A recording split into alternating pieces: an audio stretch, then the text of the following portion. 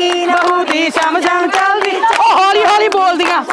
ਦੀ ਜੱਕੀ ਬਹੂ ਦੀ ਸ਼ਮ ਸ਼ਮ ਚੱਲਦੀ ਜੱਕੀ ਬਹੂ ਦੀ ਸ਼ਮ ਸ਼ਮ ਚੱਲਦੀ ਜੱਕੀ ਬਹੂ ਦੀ ਨਾਲ ਲੱਗਦੀ ਬੋਲੀ ਪਾ ਲੋ ਕੰਮ ਠੰਡਾ ਪੈ ਜਾਂਦਾ ਚੱਲ ਪਿਆ ਨਾ ਚੱਕਮੀ ਜੀ ਪਾ ਬੋਲੀ ਗੱਡੇ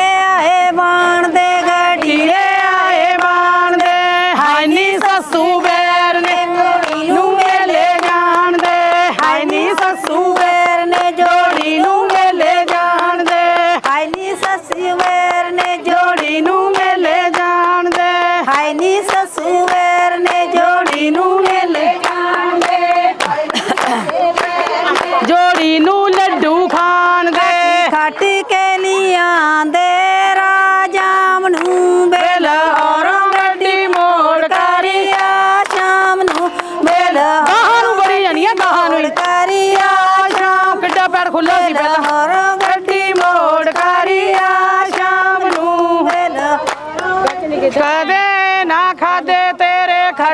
मीठे जामनू कदे ना खदावे कड़ा करके छड़ जाल मां करके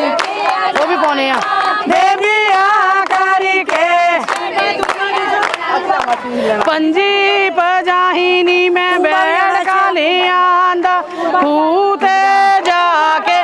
बड़े खारिया बोले बड़े ਕੱਗਰੀ ਚ ਤੂੰ ਬਾ ਖੜਕ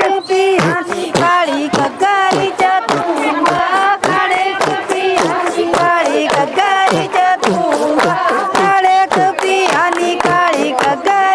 ਤੂੰ ਕਾਲੀ ਖਟ ਖਟ ਕਿਸੇ ਦੀ ਕਹਿਣ ਦੀ ਤਾਂ ਲੋੜ ਹੀ ਨਹੀਂ ਆਪੇ ਖਟ ਖਟ ਲੈ